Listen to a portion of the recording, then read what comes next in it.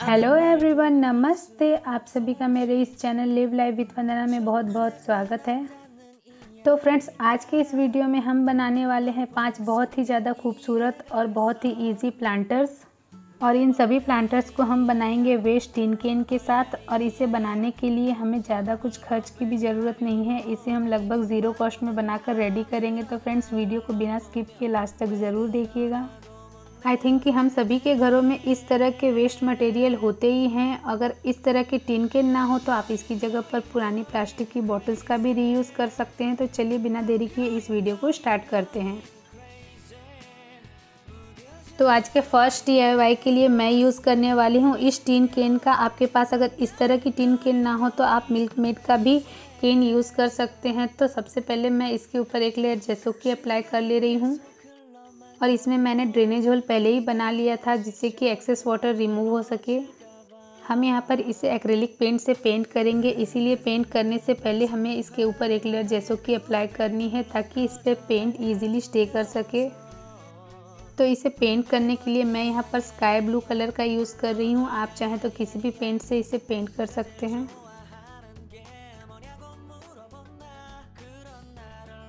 तो यहाँ पर देखिए पेंट अच्छे से ड्राई हो गया है। तो अब हम इसमें बहुत ही ज़्यादा सिंपल डिज़ाइन बनाएँगे और इस डिज़ाइन को बनाने के लिए मैं इस तरह के चौड़े ब्रश का यूज़ कर रही हूँ। हमें सिंपली इस ब्रश को पेंट में डिप करना है और इस तरह से इसके डिज़ाइंस को बना लेना है। तो कुछ इस तरह से ये हमारा फ़र्स्ट प्लांटर बनकर तैयार हो गया है और अब इसमें आप कोई भी प्लांट लगा सकते हैं और इसे इंडोर या आउटडोर रख सकते हैं। पर अगर आप इसे आउटडोर रखते हैं तो इस पर एक फुट वार्निश ज़रूर अप्लाई कर लें।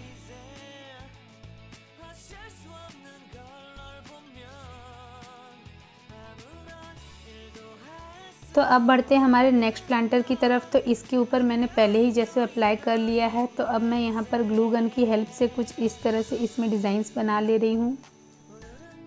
आप अगर यहाँ पर ग्लू गन का यूज़ नहीं करना चाहते तो आप यहाँ पर वॉल पुट्टी के भी पतले पतले रोल बनाकर इसके ऊपर ग्लू की हेल्प से स्टिक करके इस डिज़ाइन को बना सकते हैं।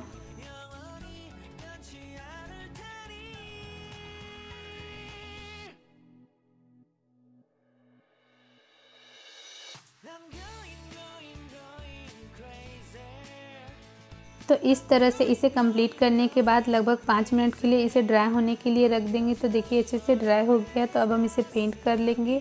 और पेंट करने के लिए मैं यहाँ पर ब्लैक एक्रेलिक पेंट का यूज़ कर रही हूँ। आप इसे अपने अकॉर्डिंग पेंट कर सकते हैं।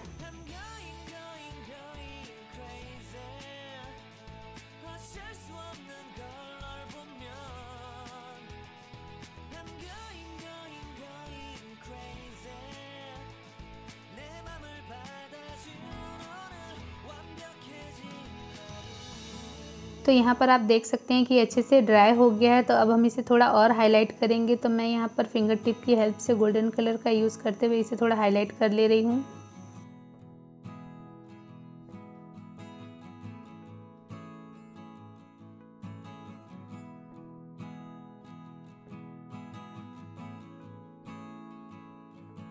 तो कुछ इस तरह से हमारा ये प्लांटर भी बनकर तैयार हो गया है और इसे भी बनाना बहुत ही ज़्यादा इजी है और आप में से कोई भी इसे बड़ी ही आसानी से बना सकता है।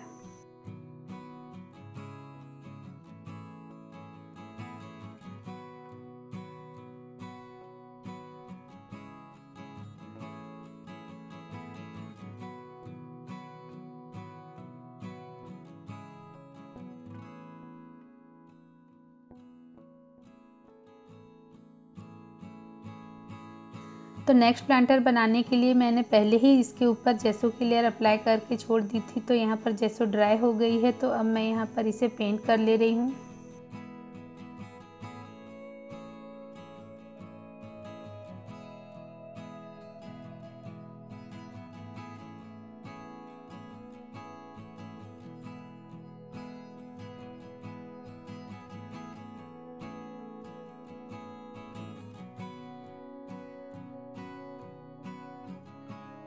इस प्लांटर को पेंट करने के लिए मैं यहाँ पर एक्वा ग्रीन कलर और गोल्डन येलो कलर का यूज़ कर रही हूँ तो इसे मैं कुछ इस तरह से पेंट कर रही हूँ।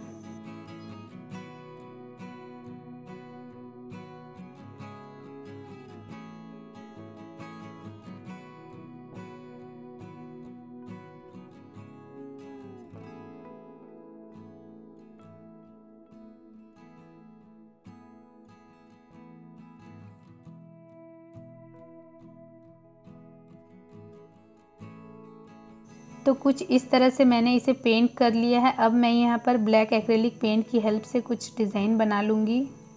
यहाँ पर मैंने इसमें बहुत ही ज़्यादा सिंपल डिज़ाइन बनाया है ताकि आप इसे इजीली रिक्रिएट कर सकें या फिर चाहें तो आप अपने अकॉर्डिंग इसमें कोई भी डिज़ाइन बना सकते हैं।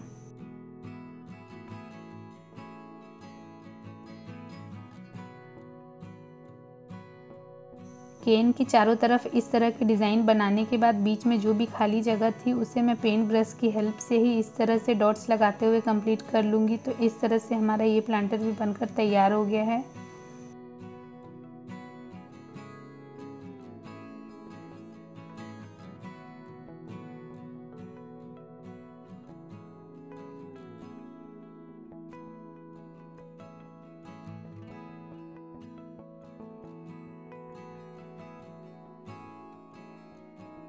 तो अब हम बढ़ते हैं हमारे नेक्स्ट प्लांटर की तरफ़। तो इसके ऊपर मैं यूज़ करने वाली हूँ इस तरह की पर्ल स्टिकर लेस का। और इस तरह की लेस आपको ट्वेंटी रुपीज़ में आपके लोकल शॉप में इजीली मिल जाएगी।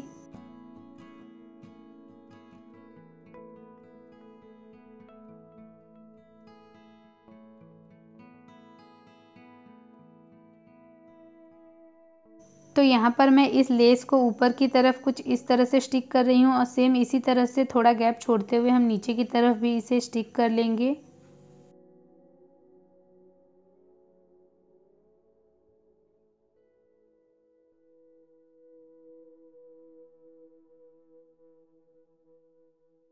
और इस तरह की लेस में पहले से ही एडेसिव लगा होता है, जिसकी वजह से ये इजीली किसी भी सरफेस पे स्टिक हो जाते हैं। तो इस तरह से इसे स्टिक करने के बाद हम इसे पेंट कर लेंगे।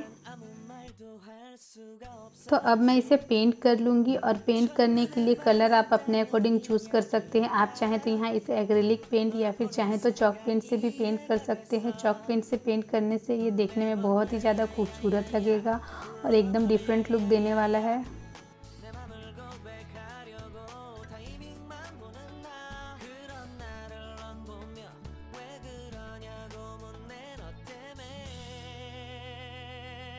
तो इस तरह से मैंने इसे कम्प्लीटली पेंट कर लिया है और अब ये अच्छे से ड्राई हो गया है। तो अब मेरे पास यहाँ पर कुछ वुडन बीट्स थे तो मैं इसके नीचे इस वुडन बीट्स को स्टिक करूँगी। तो इसे स्टिक करने के लिए मैं यहाँ पर हॉट ग्लू गन का यूज़ कर रही हूँ। आप चाहें तो इसे किसी भी ग्लू से स्टिक कर सकते हैं।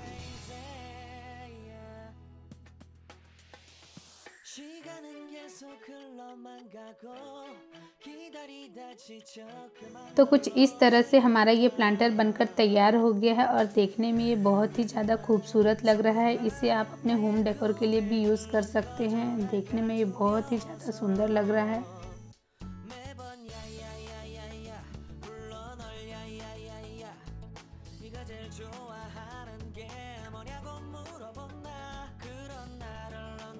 तो अब हम बढ़ते हैं हमारे लास्ट प्लांटर आइडिया की तरफ़। तो इसे पेंट करने के लिए मैं यहाँ पर लाइट पिंक कलर का यूज़ कर रही हूँ और ये देखने में बहुत ही ज़्यादा अच्छा लग रहा है ये कलर आपको कैसा लग रहा है मुझे कमेंट में ज़रूर बताइएगा। आप चाहें तो इसे किसी भी कलर से पेंट कर सकते हैं।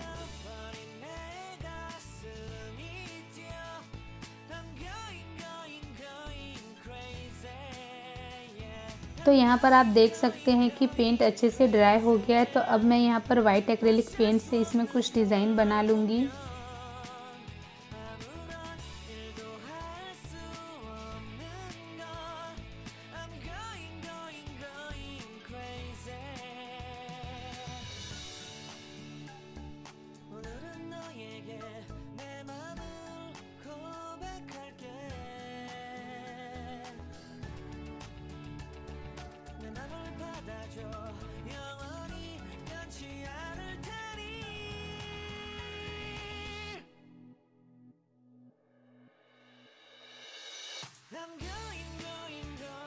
तो कुछ इस तरह से मैं इस प्लांटर के चारों तरफ़ कुछ इस तरह से डिज़ाइन बना लूँगी और ये डिज़ाइन देखने में बहुत ही ज़्यादा खूबसूरत लग रहा है।